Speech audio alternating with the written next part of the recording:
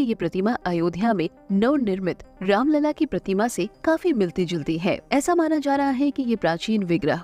तत्व वेताओं के अनुसार ग्यारहवीं या बारहवीं शताब्दी की हो सकती है रामलला की प्रतिमा की तरह भगवान विष्णु की इस मूर्ति में भी प्रभा मंडल के चारों ओर दश अवतारों को उकेरा गया है सूत्रों के अनुसार इस अनूठे संयोग में सबसे अद्भुत बात ये है कि ये हजारों साल पुरानी प्रतिमा का रंग रूप और स्वरूप अयोध्या में बने रामलला से काफी मिलता है वहीं ऐसा भी बताया जा रहा है कि भगवान विष्णु के इस विग्रह के साथ भगवान का एक प्राचीन शिवलिंग भी मिला है रायचूर यूनिवर्सिटी में प्राचीन इतिहास और पुरातत्व की लेक्चरर डॉक्टर पद्मजा देसाई ने भगवान विष्णु की प्रतिमा के संबंध में बताया है कि ये निश्चित रूप से किसी मंदिर के गर्भगृह का हिस्सा रहा होगा संभावत इसे मंदिर में हुए तोड़फोड़ से बचाने के लिए नदी में डाल दिया गया होगा इस प्रतिमा को थोड़ी क्षति पहुंची है विग्रह की नाक थोड़ी क्षतिग्रस्त है फिलहाल इस चमत्कार पर आपका क्या कहना है नीचे कमेंट बॉक्स में अपनी